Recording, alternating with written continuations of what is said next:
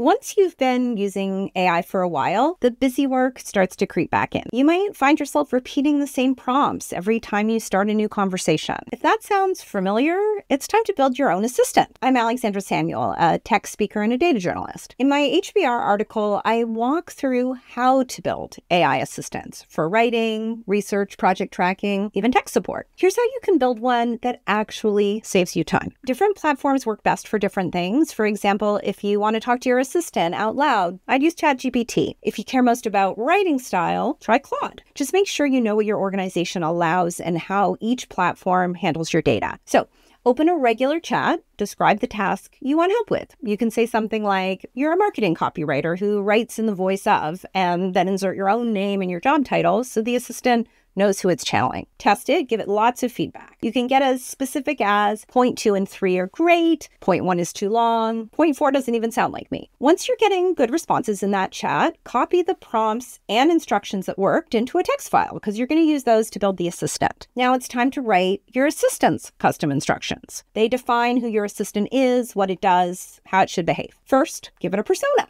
You're a detail obsessed analyst working for a boss who doesn't tolerate mistakes. Next, define the task. You summarize research into bullet points, then give it a goal. You write memos that make it easy for your boss to reach data driven decisions. And finally, set the tone. You write in a friendly, concise voice with no jargon. You can ask the AI to draft all of that for you based on the examples you saved of the prompts and replies that worked in your test session. Give your assistant knowledge files made up of real examples of your work, like past newsletters newsletters, slide decks, brand guidelines, emails, anything that helps it understand your voice and context. And now, no assistant is going to be perfect on the first try. So keep adjusting your instructions, add better examples, give feedback until it works the way you need. And if you've built your own assistant, I'd love to hear how it's working. Drop a note in the comments.